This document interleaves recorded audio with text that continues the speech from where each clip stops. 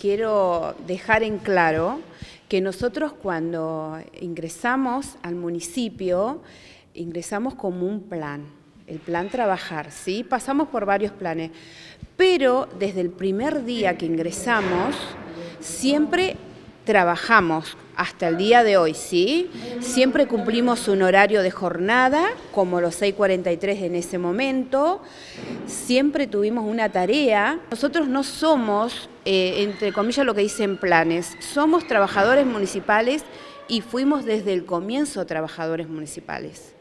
Y bueno, y en este momento se presentó una ordenanza en el Consejo que previamente eh, tuvimos reuniones con el secretario de Gobierno, Medisa, para dialogar y tratar este, con la gestión que está actualmente en el municipio, pero bueno, no tuvimos este, respuestas positivas, entonces todos los trabajadores decidimos entre todos crear, armar el proyecto de ordenanza. Y bueno, y en la ordenanza es este, el reconocimiento de los, de los años de antigüedad en negro. Hay personas que tienen 15 años, 14, 10, varios años que trabajamos en negro.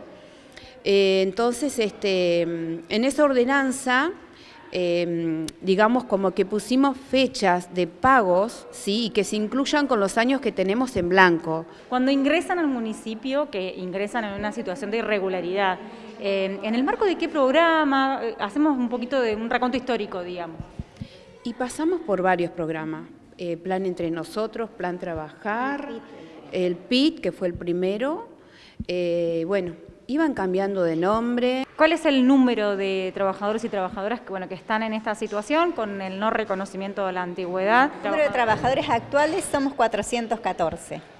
Eh, que vamos quedando y bueno, viste que siempre todos los años se va jubilando gente, así que cada vez vamos a ser menos. Y hay gente que se está jubilando sin este reconocimiento, eso también hay que Exactamente, sí, hay gente que se está jubilando y no va a tener este reconocimiento. Entonces, lo que nosotros ahora pedimos es que a partir de ahora, en el recibo de sueldo, nos aparezca la antigüedad real, porque es es dinero que a nosotros, para nosotros sería un reconocimiento muy importante. Lo que nos interesa que esto quede aprobado antes de fin de año, ¿no? que quede un compromiso, que quede la ordenanza firmada no importa que no nos puedan empezar a pagar este año la antigüedad, así sea el año que viene, pero bueno, lo importante es que quede firmado. En ese sentido, eh, ¿cuáles son las expectativas, teniendo en cuenta que quizás no hubo una negociación fructífera con la Secretaría de Gobierno o con las autoridades del Poder Ejecutivo ¿no? del municipio? Y nosotros tenemos toda la esperanza de que el proyecto se apruebe, más sabiendo ellos que siempre hemos trabajado, o sea que es un reconocimiento para nosotros, más hoy en día que sigue entrando gente a trabajar todos los días, o sea, dinero o sea, hay en el municipio, por lo que si no, no entraría todos los días gente nueva a trabajar, cosas así.